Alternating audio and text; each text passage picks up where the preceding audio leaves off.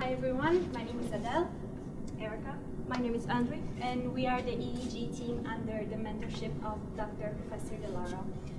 So, uh, we are known for studying the effects of sounds and music in the human brain, and this time we came up with a new research which is focusing on the effects of sugar in the human brain. Uh, there is a research that has been published recently, and it shows how sugar is known for being more addictive than heroin and uh, cocaine, which are opioids.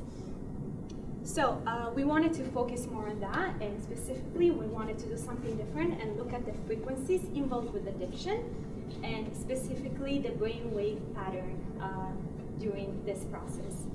The main parts of our study is to set up an experimental design. After that, we want to analyze and interpret our data through the SARA software, and so that we can share our findings with the research uh, scientific community. So uh, we, uh, during this internship, we discussed a lot about the experimental design, and uh, we, after uh, we uh, discussed, we came up with this experimental design, and the main part is the eating part. In fact, to study the effects of sugar in the human brain, we have to provide sugar to our participants. And we choose uh, donuts because they're known for being very highly, they, they have very high content of sugar.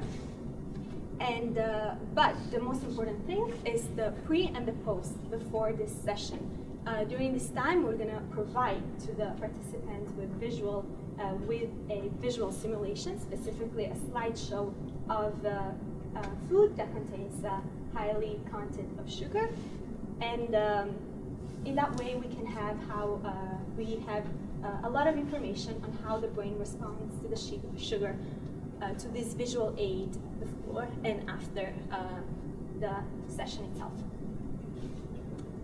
So our initial experimental design consisted into record the brain waves of all participants while they are eating donuts and juice with higher sugar content. However, this ended up with too many artifacts and we decided to change it to the actual model that Adele just told us about.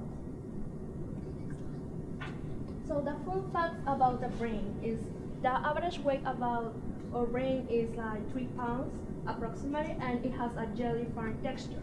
A brain freeze is called a sphenopalatine ganglioneuralgia. It occurs when you eat or drink something that is really cold. We have 100 billion neurons in our brain, more than the stars in the galaxy.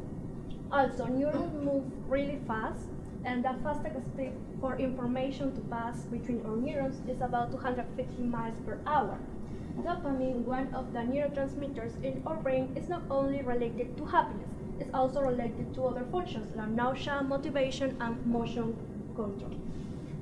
Right, so guys, I'm going to be talking about what we accomplished over the course of this internship. So first of all, like Adele said before, we managed to um, create a new experimental design, and then because of that, we also updated our consent form so the participants would know exactly what the new study would be about. So also we uh, tested some um, participants with new with this new study, so we figured out that this works, and then we also scheduled 16 participants for the um, first week of uh, January, and also we learned the science behind um, sugar addiction and brain activity, and also we started drafting our new research paper.